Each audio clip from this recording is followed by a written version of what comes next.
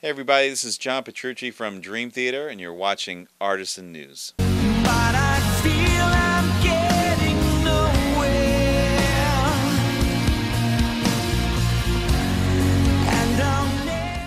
Now that Mike Mangini is the new drummer for Dream Theater, it has taken a while for that fact to sink in for fans.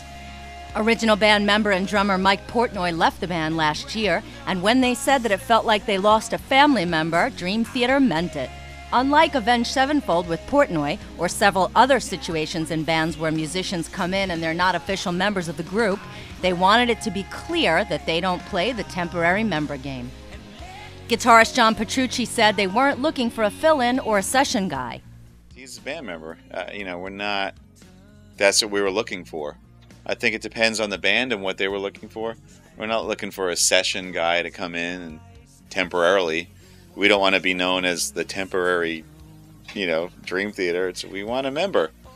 You know, like when we uh, when we got Jordan in the band and we wanted, you know, a new member. That's the point. He added that fans who are expecting Mike Portnoy to be back are mistaken, and that Dream Theater is planning on sticking with Mike Mangini for the rest of the band's life. I mean, I would hope so. That's, I mean, that's the way you sort of you know, it's the way I like to live life and think about things. I, I don't think of things as being temporary.